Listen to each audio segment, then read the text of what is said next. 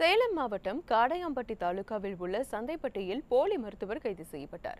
சந்தைப்பேட்டையில் முருகேசன் என்பவர் கடந்த பல ஆண்டுகளாக பொதுமக்களுக்கு மருத்துவம் பார்த்து வந்துள்ளார். இதில் அவரிடம் மருத்துவம் பார்த்து வந்த பலர் உடல் நலத்தில் பாதிப்பு ஏற்பட்டுள்ளதாக தொடர்ந்து கூறியுள்ளனர்.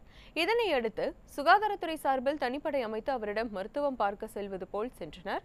அப்போது ஊசி போட முயன்ற முருகேசனை தனிப்படையினர் கையும் களவுமாக பிடித்தனர். அவரது சான்றிதழை ஆய்வு செய்ததில் முறையாக மருத்துவம் படிக்காதவர் என்பது தெரியவந்துள்ளது. இதையடுத்து முருகேசனை காவல்துறையினர் கைது செய்து விசாரித்து வருகின்றனர். இது போன்ற முக்கிய வீடியோக்களை உடனுக்குடன் தெரிந்து கொள்ள நியூஸ் ஜே யூடியூப் சேனலை சப்ஸ்கிரைப் செய்யுங்கள்.